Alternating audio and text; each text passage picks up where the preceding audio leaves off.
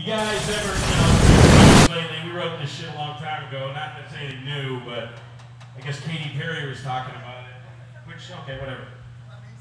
This is MK Ultra!